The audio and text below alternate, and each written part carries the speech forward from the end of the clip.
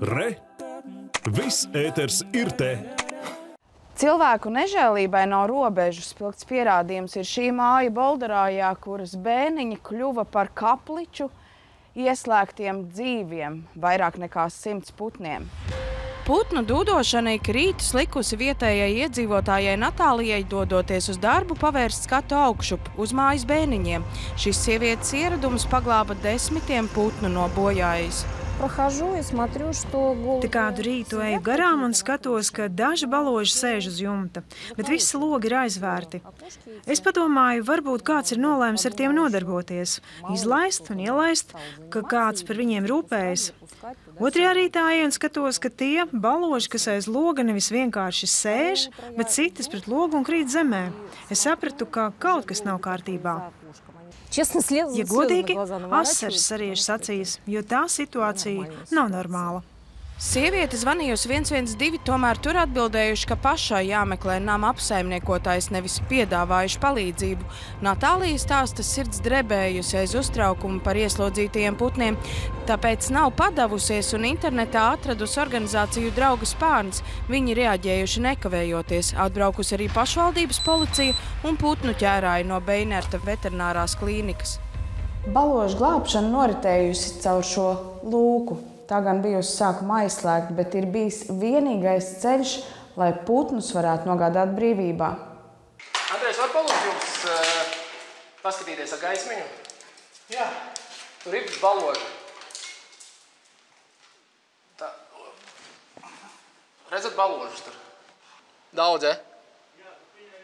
Labi, dosim informāciju. Izkļūt nav kur iespējams, ja? Izkļūs vietas jūs neredzat? Policistam ierodoties adrese, sākumā nekas nelikas, ka tur augšā kaut kas būtu. Bet uh, izdevās sameklēt personu, kurai būtu bērniņa atslēgas. Tikām iekšā un noskatījās, ka iekšā vairāk par 50 balāžiem atrodas. Daudzi bija jau, diemžēl, beigti. Pārējie bija kaut kā ļoti novaināti. Izskatījās, ka viņiem nebija ne iespējas izlidot ārā, ne padzēties, ne paēst. Es palīdzu. Daudz tur viņa.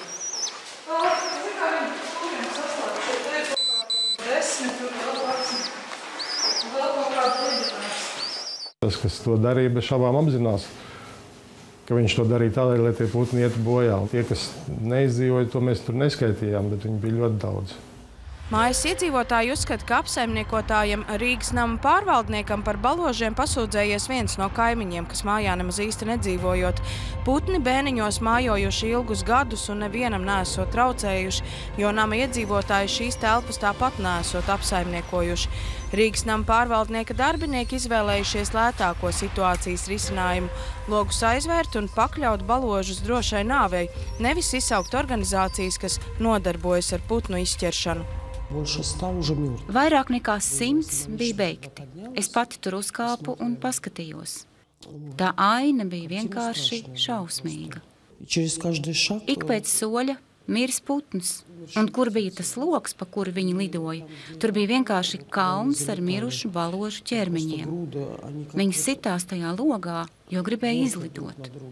Es tik, tikko nokāpu no bērniņiem. Respektīvi, i 20 kaut kādi pāri tur gabali ir. Vairāk kā. Un nav vietas, kur izlidot ārā. Es izteigāju visus tos bērniņus, apskatījos, vai vieta viņiem ir kur izlidot. Viņiem nav kur izlidot. Tad liela saimē esot bijusi, laikam, cik es saprotu. Putni. Protams, jā, daudz. Jā, žēl. Tieši žēl. Tikmēr Rīgas nama pārvaldnieks meklē vainīgo, kurš aizvēra logus un atstāja vairāk nekā simts baložu nomiršanai. Šis gadījums ir neordinārs, jo situācija, kad kaut kādā veidā varētu būt ierobežota putnu vai citu dzīvnieku kustība šāda veida telpās, mm, parasti tādā veidā nestrādā uzņēmums.